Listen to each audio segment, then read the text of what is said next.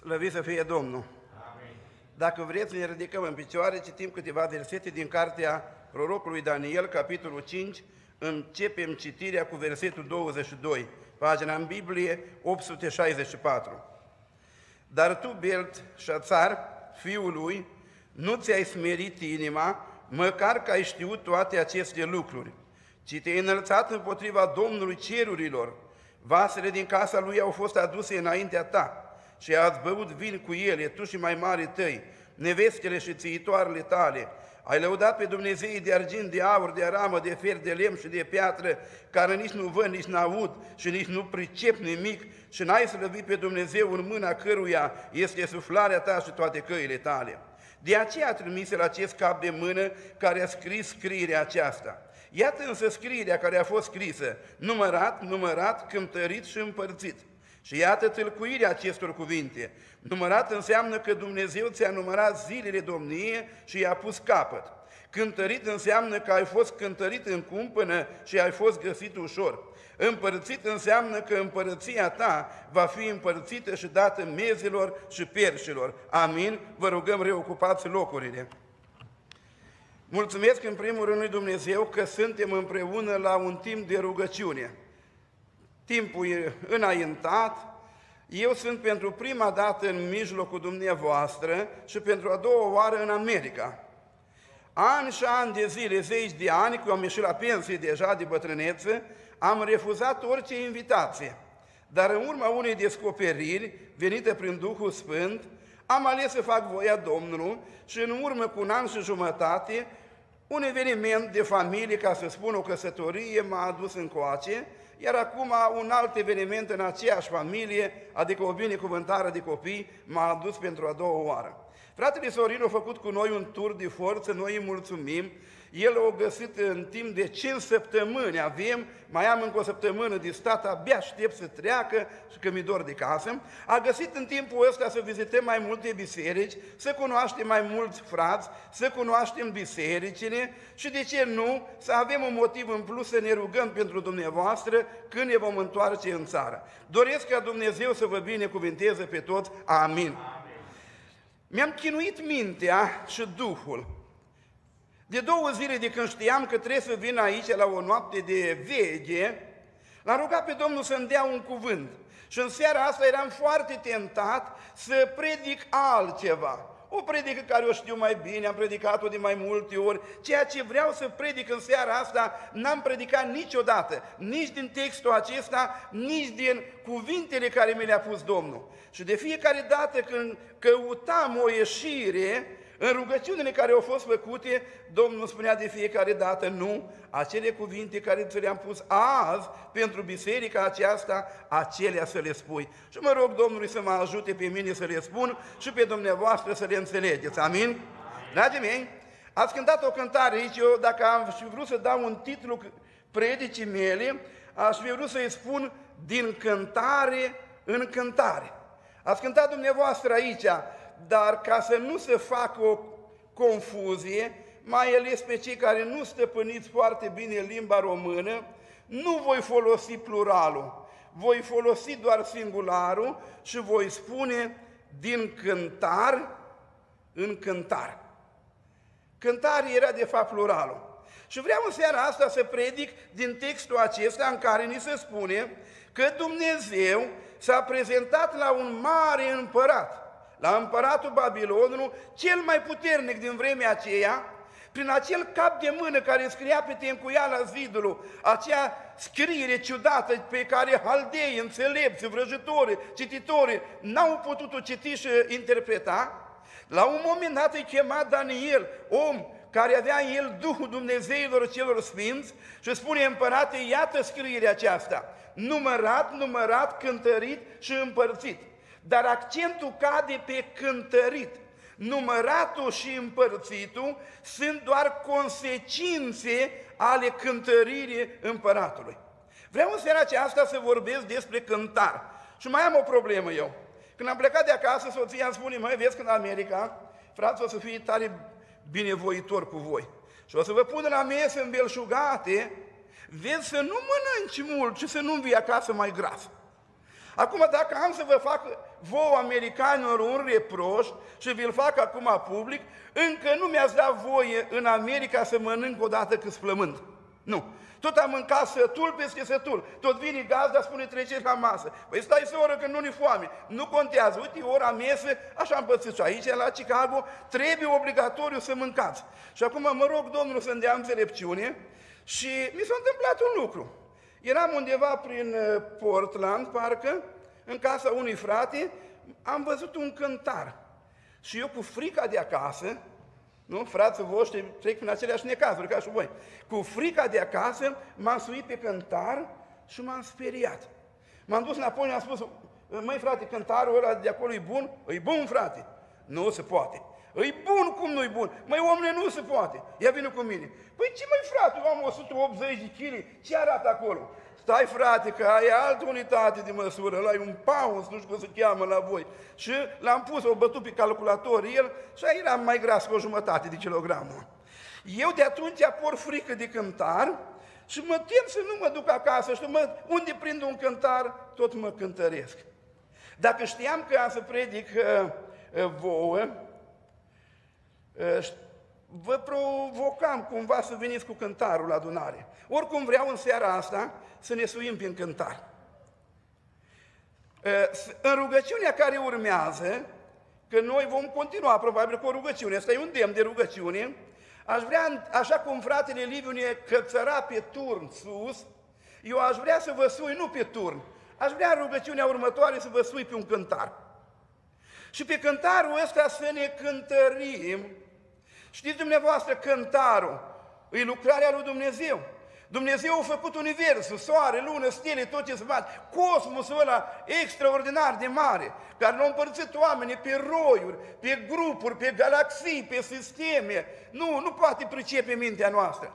Dar Dumnezeu, când a făcut toate lucrurile astea, scrie în Proverbe 16 cu 11 cum ai făcut o lucrare. Cântarul și cumpăna dreaptă vin de la Domnul. Unitățile de măsură sunt lucrarea lui Dumnezeu.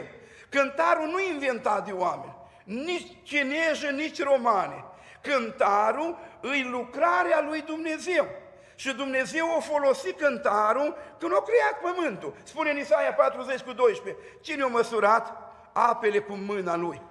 Cine a măsurat cerul cu palma lui? Cine a strâns pământul într-o treime de măsură? Cine a măsurat, cântărit munță cu cântarul și dealurile cu cumpăna? Ăsta e Dumnezeu, fraților. Cântarul și cumpăna dreaptă sunt invenția lui Dumnezeu și El le-a folosit în creație. Slavă Domnului! Dragii mei, când vorbim de cântarul acesta, ă, mai scurt, de procedeul de cântărire, știți ce înseamnă a cântări? Omul a stabilit o unitate de măsură, etalon. Și apoi cântărirea nu e decât o comparație cu unitatea asta de măsură. În seara asta eu aș vrea să ne cântărim. Și Pavel îi spunea lui Timotei, toată Scriptura îi însuflată de Duhul Sfânt și de folos. Aș vrea în seara aceasta să folosim unitatea aceasta de măsură, etalonul. Și să vedem cât de grei sau cât de ușori suntem noi față de Sfânta Scriptură. Dumnezeu să ne ajute să ne cântărim drept. Amin? Sunt limite în cântărire. Oamenii cântăresc doar mărimile fizice și nici pe alea nu le pot în totalitate. Când s-a făcut templu, erau cântărite cu precizie uneltele din casa Domnului și toate lucrurile. Dar când s-au făcut stâlpii de aramă cu rețelele acelea, când s-au făcut marea de aramă cu cei 12 boi, spune Scriptura, iar greutatea era așa de mare că nu se mai putea cântări. Noi nu, eu nu pot în, în România să cântăresc Carpață. Noi cântărim câteva mărimi fizice care le, ne le îngăduie Domnul. Dacă mergem mai departe, la Dumnezeu alte posibilități. Scrie cuvântul Domnului, odată Iov plângea, în capitolul 6 cu versetul 2 și spunea așa, O, de mi s-ar putea cântări durerea, dacă mi s-ar pune toate nenorocirile în cumpănă, ar fi mai grele ca nisipul mării. Eu am predicat la zeci, la sute de mormântări și la ser de priveghere. O trebuie să plede, predic la căpătuii unor mame și au rămas 10-12 copii mici.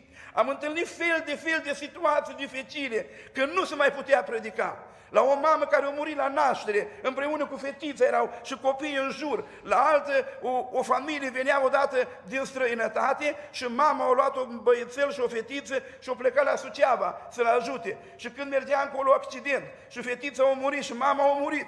Și tatăl care venea de acolo cu 2 lei în buzunar și cu câteva ciocolăți, o ajuns la locul accidentului. O văzut o fetiță rănită adică băietul rănit și, și soția și fetița moartă. Și o trebuie să predicăm acolo. Și am folosit de multe ori versetul acela, cum spunea omul Dumnezeu, o, voi care treceți pe lângă mine, opriți-vă și uitați-vă dacă mai este o durere, cum e durerea mea. Dar știți că Dumnezeu cântărește durerea? El o poate cântări. Noi ca oameni nu o putem cântări. Ai o durere în casa ta, ai o durere în trupul tău, te doare sufletul pentru biserica ta, pentru copii, pentru rudele tale. Noi oameni nu putem cântări, nu avem unitate de măsură, dar Dumnezeu cântărește durerea, o știe și Dumnezeu vrea să-ți dea izbăvire. Amin? Noi nu putem cântări uh, sentimentele, dar în pil de 24 cu 12 spune așa, și dacă zici, ah, n-am știut, crezi tu că cel care cântărește inimile nu cunoaște? Dumnezeu ne cântărește inima cu toate simțurile, cu toate sentimentele. Iubirea, cu ce o cântărim iubirea? O întreb pe copilul meu cât de mult mă iubești și el mi arată așa de mult. Deci numai atâta și se năcăjește, se întinde mai tare. Asta e unitatea lui de măsură. Dar vine Domnul Isus în Ioan 3 cu 16 și spune atât de mult a iubit Dumnezeu lumea că a dat pe singurul său Fiu la Dumnezeu sunt posibilități nelimitate. El trece dincolo de posibilitățile noastre și El cântărește iubirea ta, sacrificiul tău, durerea ta, frica ta, dorința ta, toate sunt cântărite de Dumnezeu. Slăvit să fie numele Domnului! Cântarul îl mai folosim pentru, într-un anumit sens pentru determinarea stării de sănătate. Ia spuneți-mi, eu vorbesc, mă înțelegeți, nu? Cine are acasă cântar? Aveți cântar? Toți, nu? Vă cântăriți? Cât de des vă cântăriți? Apoi, hai să vă spun că atunci când se naște un copil, eu am fost de mai multe ori cu copiii la dispensar la noi, eu sunt de la țară, de undeva, cu soția. Și cum ajung acolo, medicul de familie îl dezbracă și îl pune pe cântar. Starea de sănătate a unui copil se determină și cu cântarul și cu metru, să vedem cât o luat în greutate, cât o luat în lungime. Știți că la copiii lui Dumnezeu tot așa se practică? La un copil născut din nou, el e mititel, e mic, la o săptămână trebuie cântărit, la o lună vin iară și îl cântărim, la 10 ani îl cântărim iară, la 50 de ani îl cântărim iară să vedem, e mai greu în pocăință, să ne ajute Domnul să fim mai grei, amin? Până și pâinea pentru punerea înaintea Domnului era făcută cu cântarul, știți, ă, surorile, au rețete de prăjituri și eu am acasă, n-am atâtea prăjituri câte rețete am. Am caiete de, cum o prăjitură mai bună, Rețeta mea pare scrisă, poate nu o făcut-o niciodată, dar scrie atâtea grame de unt, atâtea de zahăr, atâtea de ulei. Sunt alimente care dacă pui mai mult e o travă. Sarea, natriu, potasiu care îl folosim noi. De ce se presoară așa numai un pic? Că dacă pui mai mult e o trăvitor. În jertfa de mâncare se făcea cu cântarul atâta făină, atâta sare, atâta unde de lemn, atâta tămâie și trebuia bine proporționat. Eu spuneam și la predicatori, și predica trebuie pusă pe cântar, o predică trebuie să aibă o parte de învățătură, trebuie să aibă o parte profetică, trebuie să aibă o parte aplicativă și dacă nu le are toate, nu-i bună de mâncat. Și eu mă rog Domnul să-mi dea înțelepciune, amin? Dragii mei, Hai să intrăm un pic în miezul problemei, că de fapt gândurile care le-am primit de la Domnul pentru voi sunt următoarele. Luăm un cântar și cu cântarul acesta există trei posibilități de cântărire. Prima, cântărire reciprocă. Uite, eu îl cântăresc pe fratele Octavian, că mi prieten. și El mă cântărește pe mine. Avem dreptul să facem asta? Cântar sau cumpănă. Cumpănă, printre altele, înseamnă și a judeca, a cumpăni. Ă, Marcu 6 cu 20. Irod sta în cumpănă și nu știa ce să creadă despre Ioan Botezătorul, adică sta într-o judecată, nu știa ce să facă. În dicționarul limbii române, cumpănă, a cumpăni înseamnă a judeca. Sau spune Pavel 2 Corinteni 4 cu 8, suntem în grea cumpănă. Cumpăna aici are înțelesul de primejde, de necaz. E o metodă a lui Dumnezeu. Te pune într-o primejde, te pune într-o durere, te pune într-un necaz și acolo El te cântărește. Acum ce am vrea eu să spun? Ne este îngăduit să ne judecăm unul pe altul? Hai, până la judecată să vorbim de veghere, e noapte de veghe. Când era noapte de veghe, mi-am adus aminte fratele Mitică, când era tânăr, avea un poem cu doi la Cătană de la Timișoara, cu Teofil Băbuț, cu un grozav poem de frumos. Și umbla prin toate adunările cu poemul ăsta și la un moment dat merge în adunarea lui, de la Ițicani, la fratele Mihai Bolubenchi, trăiește, are 87 de ani. Și spune, frate Mihai, ne-am gândit să facem și noi o noapte de veche. Uite, eu mă cunosc cu frați, aduc predicatori, aduc cântăreți, așa plin de entuziasm. Hai să facem o noapte. Ce spui, facem o noapte de veche? La care fratele Mihai dă din mână, spune, de-ați veghea voi ziua.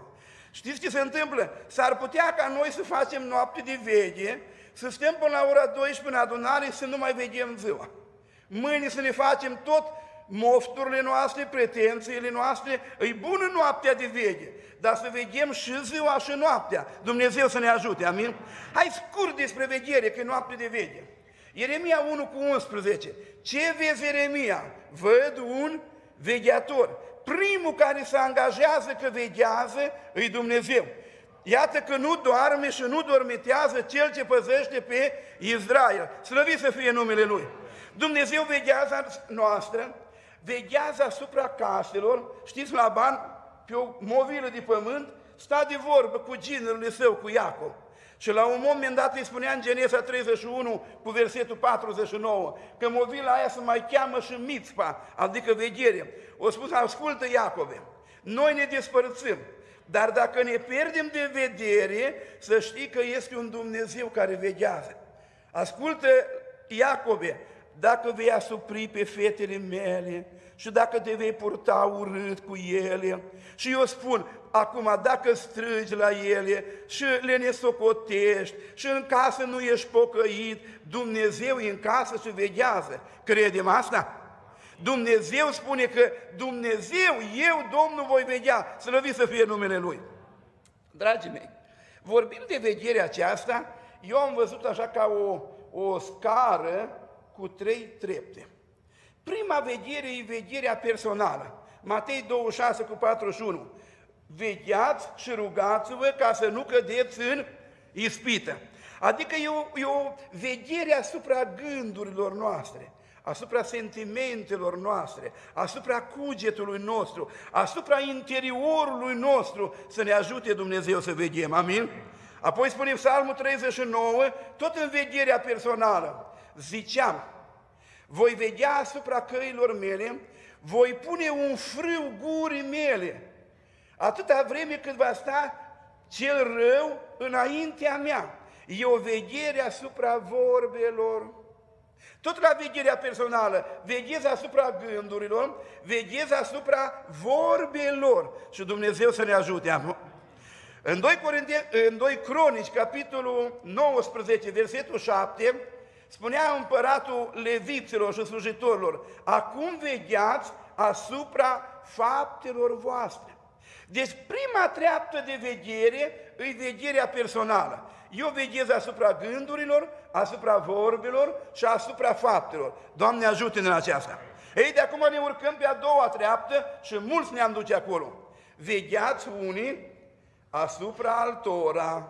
Dar vegherea asta unii asupra altora și ea de două feluri.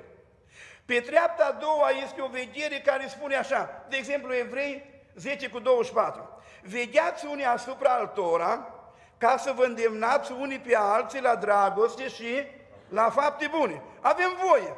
Eu veghez, dacă versetul 25 spune să nu părăsim adunarea. Dacă eu văd că un frate nu previne la adunare, spun, măi omule, nu te văd adunare, măi soră, nu te văd, nu-ți văd copiii la repetiție. E o veghere. Eu îmi fac datoria și veghez. Evrei 12 cu 16. Vegheați să nu fie între voi nimeni curvar sau lumesc ca Esau, care pentru o mâncare de limte și-o vândut dreptul de întâi născut. Eu veghez, asta e a doua treaptă de veghere. Veghez, sfătuiesc, învăț, arăt, dar până la un moment, fără să am eu răspundere pentru aceasta. Eu o fac din dragoste, dar vine acum a treia treaptă și spune în Maliahi, capitolul 2, cu versetul 12, că Dumnezeu s-a aprins de mânie împotriva acelora care veghează și răspund, scrie acolo. Deci eu veghez asupra voastră, voi asupra mea, ne îndemnăm unii pe alții la dragoste, la fapte bune, fără să avem o responsabilitate personală. Dar în adunare sunt oameni care veghează și răspund. Și în Evrei, capitolul 13, versetul 17, spune așa, Ascultați de mai mari voștri și fiți-le supuși, ca unii care priveghează asupra sufletelor voastre și care au să dea socoteală. Deci iată că în vegherea aceasta este o veghere personală, o veghere unii asupra altora, fără responsabilitate, numai din dragoste să ne îndemnăm, dar sunt unii oameni în biserică care veghează asupra bisericii și răspunde ea. Și apoi spunea Marcu, capitolul 13, versetul 37, ca să închei problema veghere. Ce vă zic vouă, vă zic tuturora, vegheați și Dumnezeu să ne ajute, amin? Dar dincolo de veghere, când punem cântarul, cântărirea aceea reciprocă, trecem la a doua treaptă, judecată. A cântări un om înseamnă a-l judeca. Fratele ăsta au cântat la microfon, foarte frumos. Ei, eu l-am pus pe cântar. Am văzut cum îi merge mâna, am văzut cum îi merge vocea, am văzut ce rid, nu știu familia, nu știu pocăința, nu știu mai mult. Dar am pus cântarul lui și l-am judecat. Dar când suntem tentați să ne judecăm unii pe alții, trebuie să ținem de cont de câteva lucruri. Primul lucru, ai dreptul să judici. Dreptul ăsta există. Spunea Apostolul Pavel în Corinteni, nu mai citesc, trece vremea, în capitolul 6. Cum voi când aveți neînțelegeri vă duce la oameni din lume? Nu este nimeni înțelept între voi care să judece între frate și frate? Știți că scrie acolo Matei, capitolul 7, versetul 1, nu judeca ca să nu fie judecați. Ăla este într-un anumit context versetul acela, că ajungem și la acela.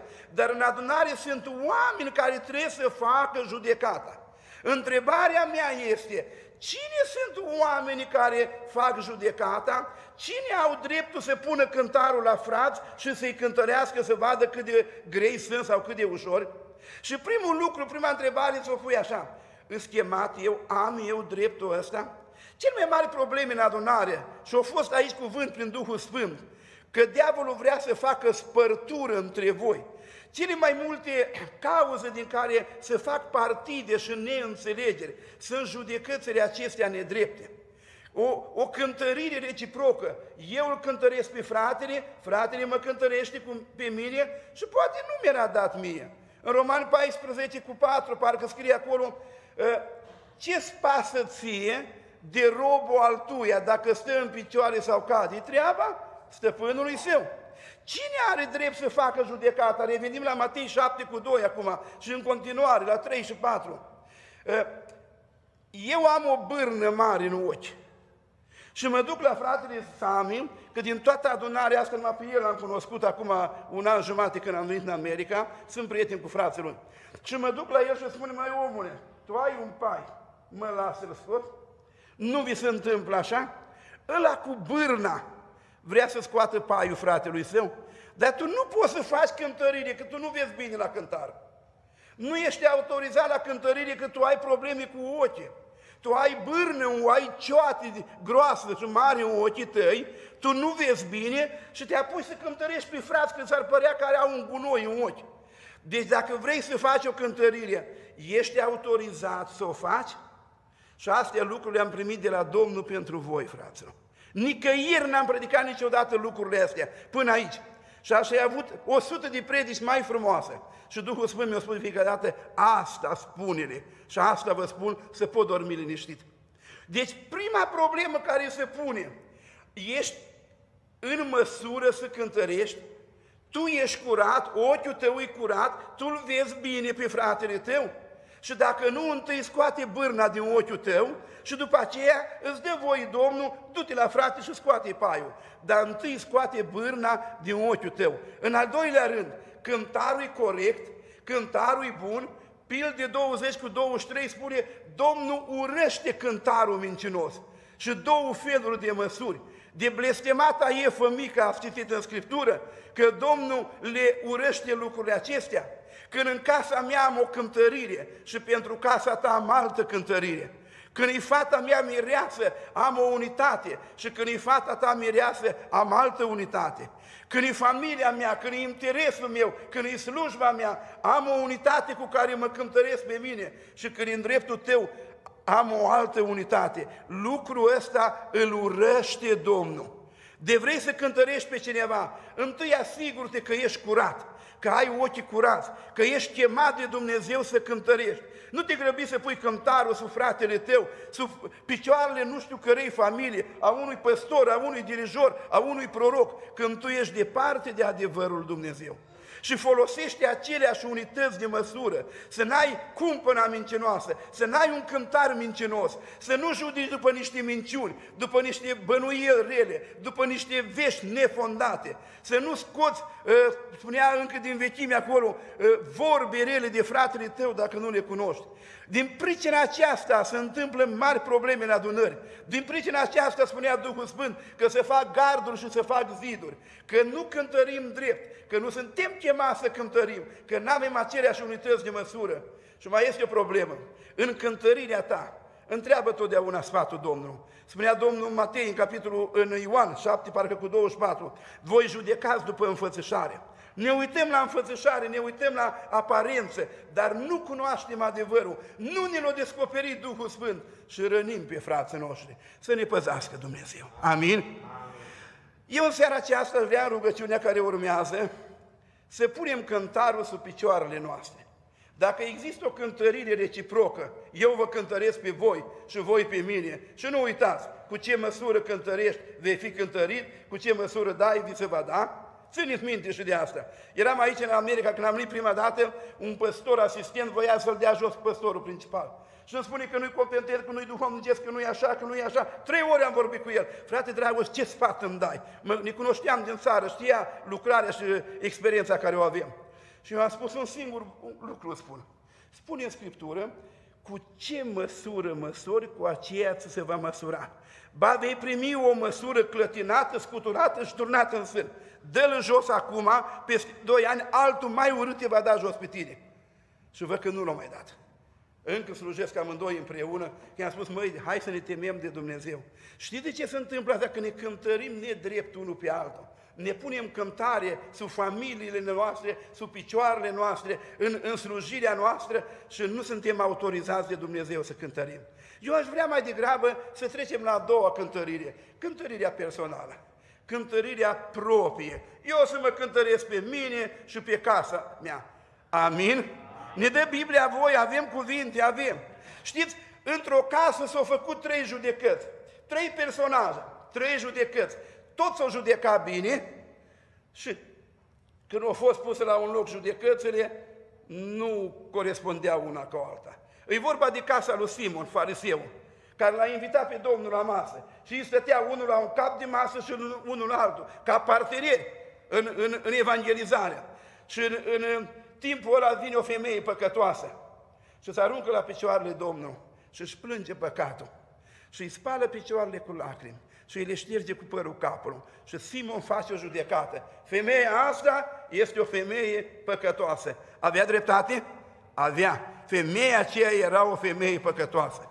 În Isaia 59 spune că niciunuia nu-i place drept, dreptatea. Niciunul nu se judecă cu dreptate. Noi judecăm cu dreptate, poate, dar îi judecăm pe alții. Femeia era păcătoasă. Avea dreptate. Femeia și-a făcut și ea o judecată. Eu sunt mare păcătoasă, ăsta e Mântuitorul lumii. Mă duc să mă ierte. Și la urmă vine judecata lui Hristos și spune, Simone, tu pe tine nu te judeci. Aș vrea ca în seara aceasta, cei care am mai rămas la rugăciune, să ne judecăm pe noi înșine. Amin? Spune cuvântul Domnului 1 Corinteni, capitolul 11, versetul 31. Dacă ne-am judecat singuri, n-am fi judecat. Hai să ne judecăm în rugăciunea care o vom face. Spun, Doamne, eu cântarul și mă așez pe el. Și vreau să mă judec pe mine, eu pe mine.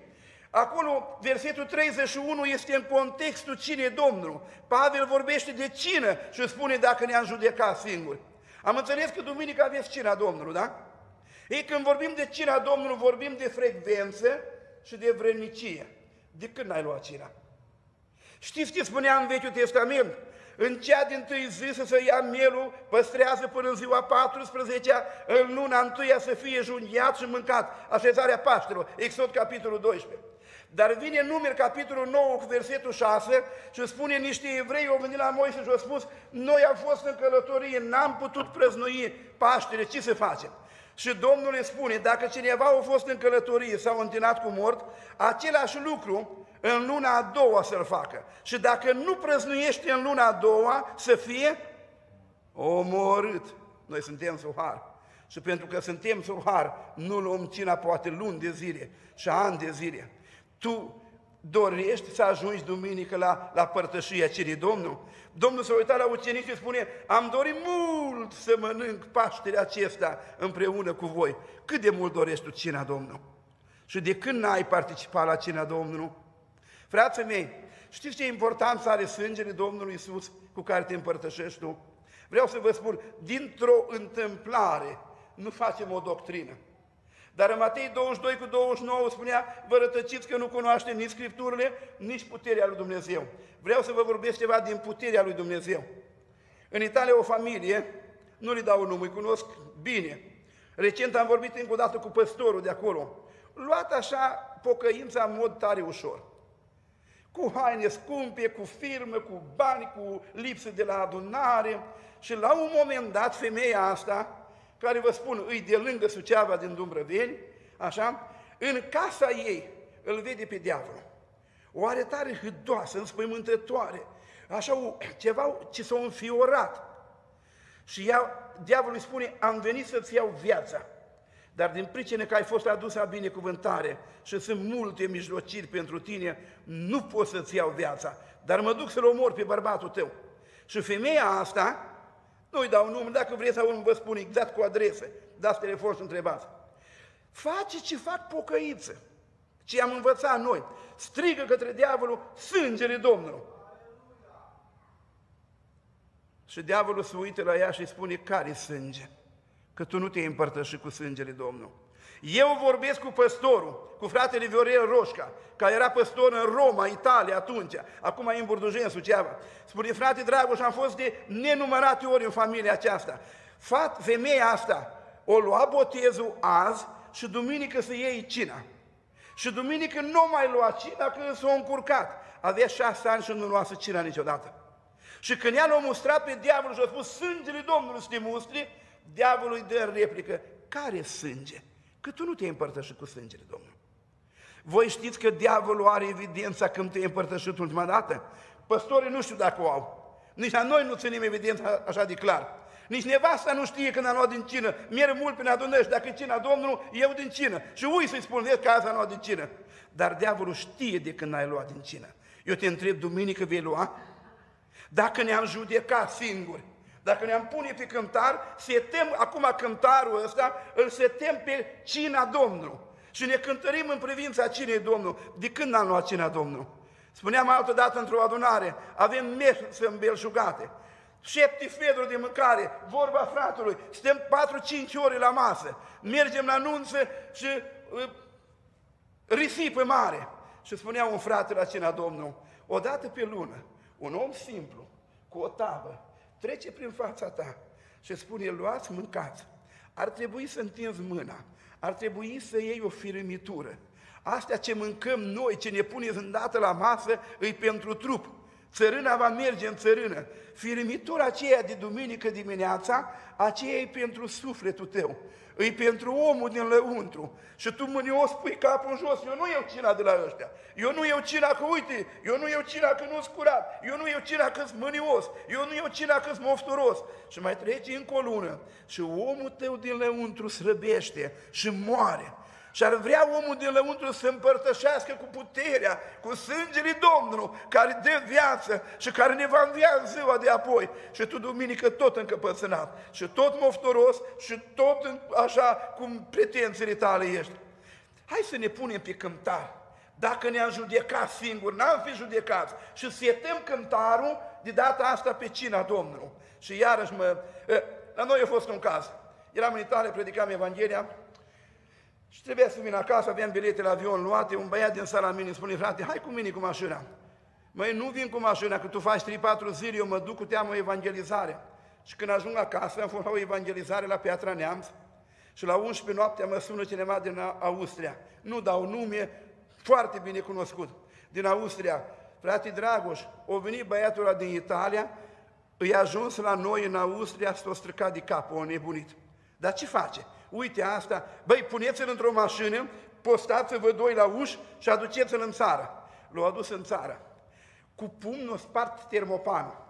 Așa, au bagat pumnul în toate geamurile la casă fără să zgârie.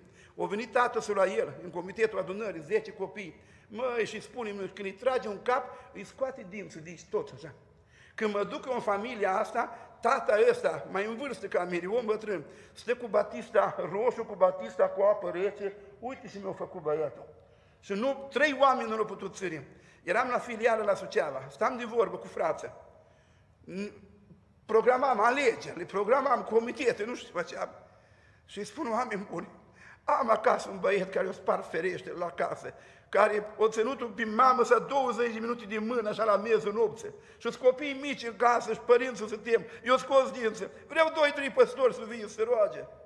Și să ridic un frate bătrân și spune, frate dragul, dar medicina ce spune? Băi, omule, lasă-mă în pace, eu nu sunt medic. Eu am nevoie de trei păstori plini de Duhul Sfânt. Și nu că să iei, dar și Liviu, și Octav, și fratele Moloci, o să mergem noi. Și s-au ridicat încă 5-6 frați. Dintre frații de acolo merg și am spus, nu mai mergem prea mult, mergeți numai voi. Erau încă mulți frați care ar fi mers. Dragii mei, am făcut o singură rugăciune. Dar înainte de rugăciune am făcut o mărturisire greu. Și am întrebat, spune te rog, de când ai luat cina Domnul? El spune, n-am luat-o de șase ani. Dar de ce? Mm. S-a făcut o singură rugăciune. Dumnezeu l-a eliberat. Frații ăștia sunt martori.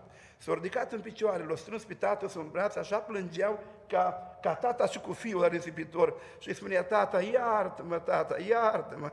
Și tatăl se mângâia și spui, te iert, măi, te iert. La băiatul ăsta am fost la căsătorie, are o familie binecuvântată, îi vindeca de Domnul. Problema era cina Domnului.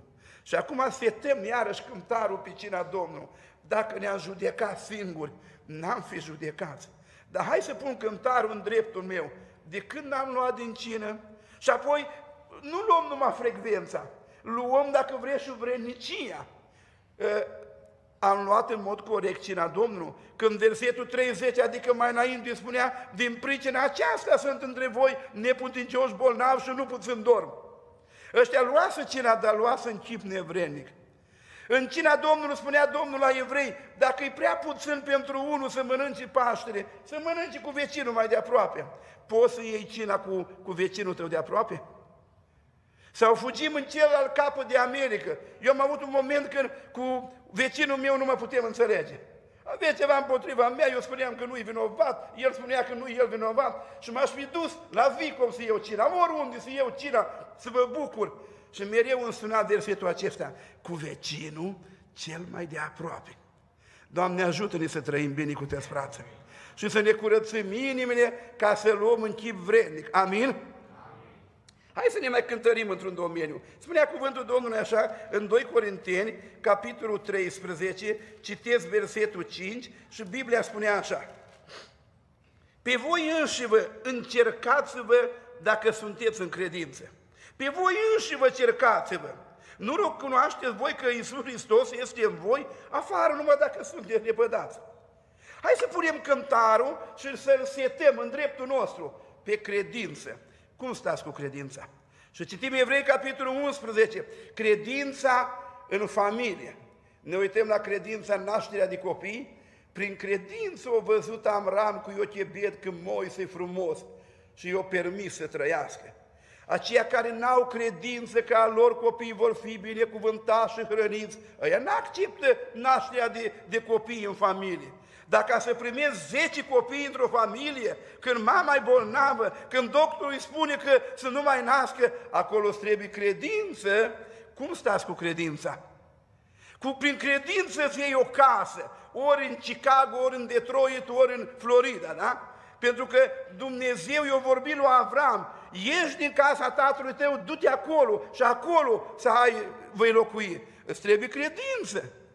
Prin credință noi au făcut un chivot sfânt și și-a salvat casa de, de la destrăbălarea care era acolo. Ca să-și educi familia și copiii, îți trebuie credință în Dumnezeu. Cum stați cu credința? Și apoi vine Evrei capitolul 11 și spunea, prin credință, nu numai în familie, dar și în slujire. Prin credință au cucerit ei împărății. Aș dori ca biserica să cucerească noi teritorii.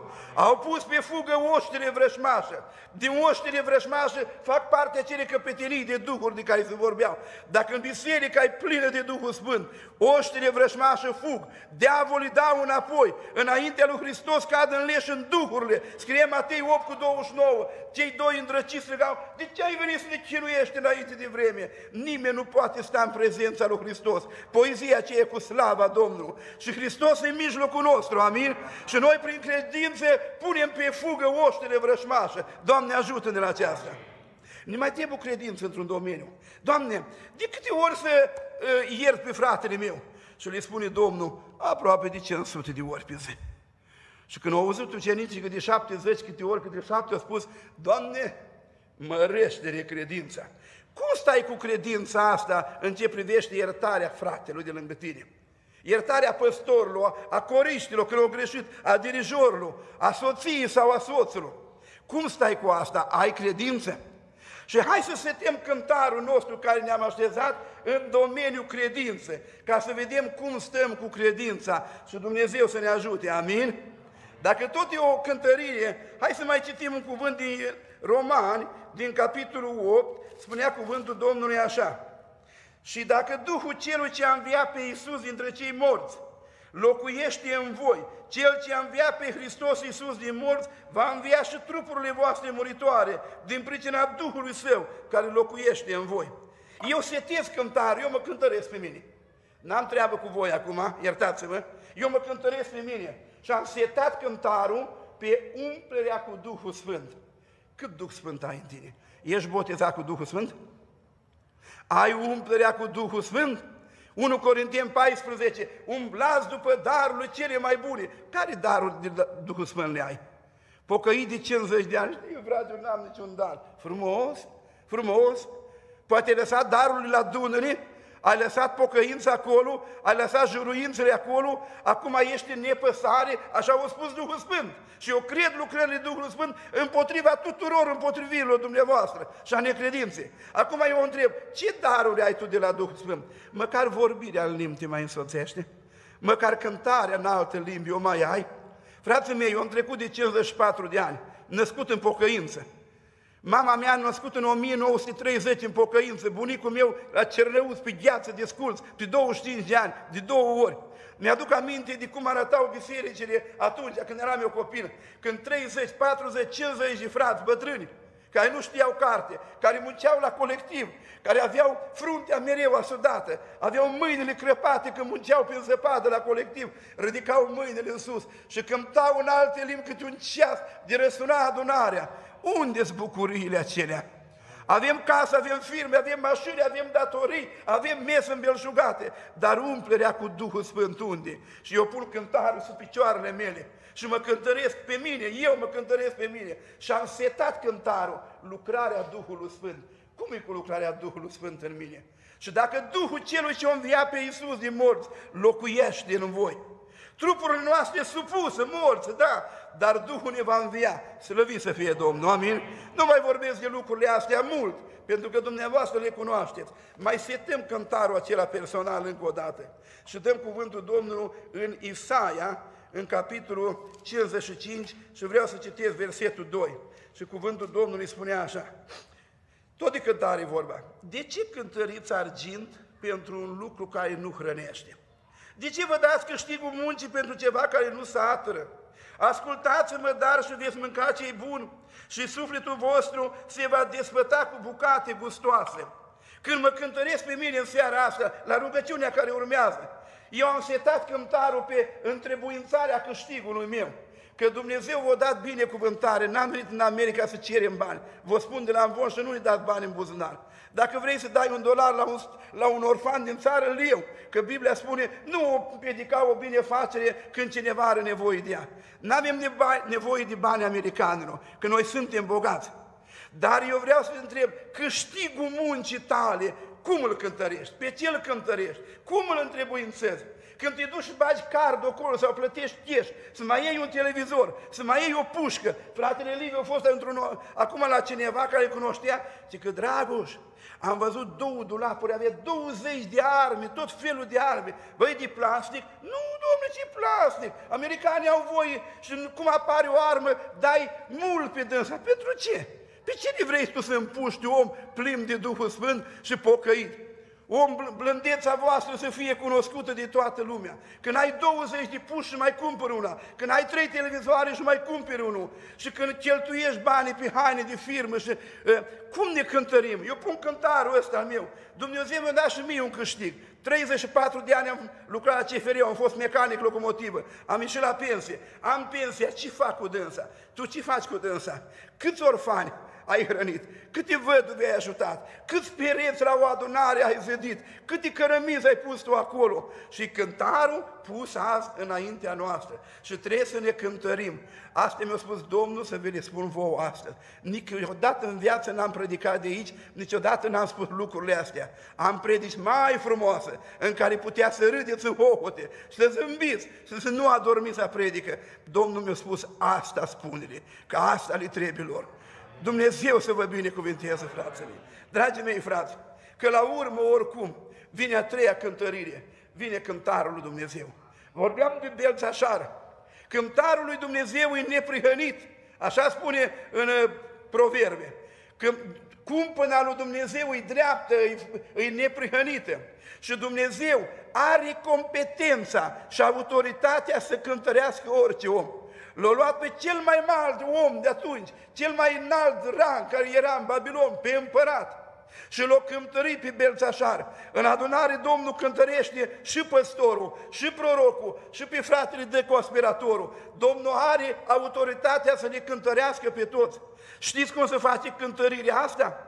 Spunea cuvântul Domnului, iar tu, Belțașar, măcar că ai știut toate aceste lucruri, nu ți-ai smerit inima, ci te-ai mândrit și te-ai ridicat împotriva lui Dumnezeu, te cântărește și în funcție de ce știi tu. Cum ai prins tu pocăința? Cum era ținuta în adunări? Cum era rugăciunea în adunări? Cum erau părinții tăi? Cum au fost bunicii tăi pocăiți? Și tu lucrurile astea le-ai știut. Experiențele tatălui tău, experiențele tale din tinerețe, când Dumnezeu ți-a vorbit. Iar noi, în loc să ne smerim, noi ne mândrim și ne ridicăm împotriva lui Dumnezeu și iată că vine cântarul lui Dumnezeu din numărat, cântărit și împărțit. Cea mai importantă, spuneam, e cântărirea. Niciunul nu scapă de cântărirea lui Dumnezeu. Și Dumnezeu care îi Dumnezeu, știți ce cântărește? Spune în uh, Evrei 4 cu 12. Cuvântul lui Dumnezeu e viu și lucrător, pătrunde până acolo că desparte măduva și încheietura, judecă simțurile și gândurile inimii. Dumnezeu judecă gândurile care le am în noi. Voi nu le puteți, voi nu știți ce judec eu, dar Dumnezeu judecă gândul când stai pe pernă acasă, în pat și cugeți nelegiuiri și întinăciuni și răzbunări la adresa unui slujitor. Dumnezeu gândurile cele le are în evidență. El gândurile cele ți le judecă, că e cântarul lui Dumnezeu. Apoi a început Ana să cânte în 1 Samuel, capitolul 2, acolo în verset 3 parcă, că Dumnezeu judecă faptele. El judecă și gândurile, El judecă și faptele. Care sunt faptele tale? Știți dumneavoastră că odată Dumnezeu îi spunea lui Avram în Genesa, capitolul 15, cu un verset acolo, parcă 16, nu știu când, spune că negreșit, sămânța ta va fi roabă într-o țară străină.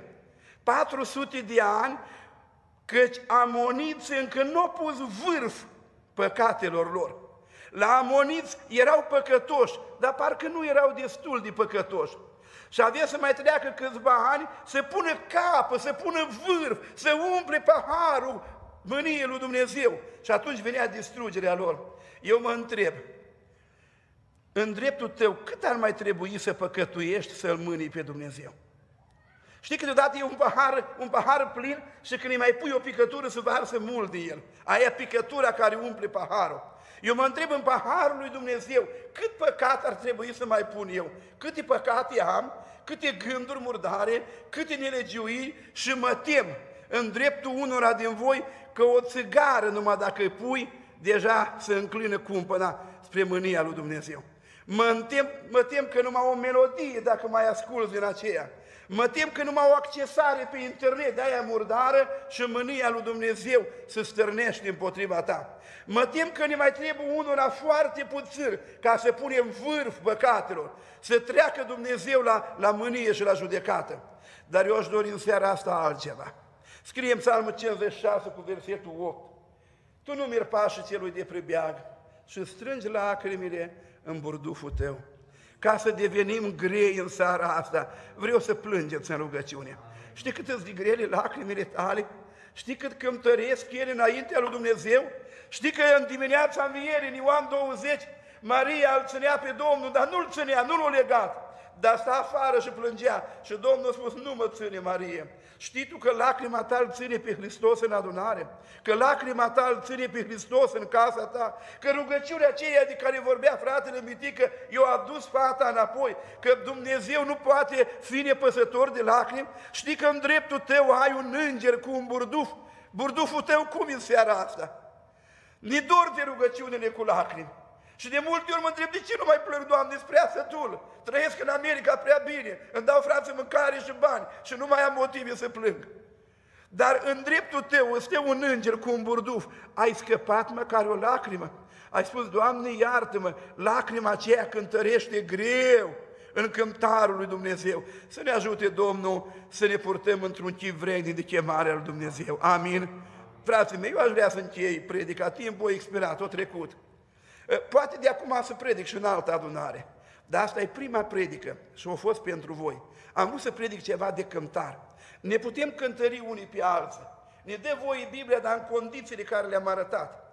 Dar eu în seara asta recomand cântărirea personală. Vreau în rugăciunea care o facem să te sui pe cântar și să pui cântarul la cina Domnului, la trăirea prin credință, la umplerea cu Duhul Sfânt, la câștigare și la folosirea banilor câștigați, hai, roagă-te. Și dacă undeva ești greșit, plânge înaintea Domnului și îngerul va strânge lacrimile și vei căpăta îndurare de la Domnul. Dumnezeu să ne binecuvinteze. Frate, facem rugăciunea aceasta, ne ridicăm cu toți în picioare. Vă rog frumos, nu v-am chemat cu cântarul de acasă, dar puneți cântarul.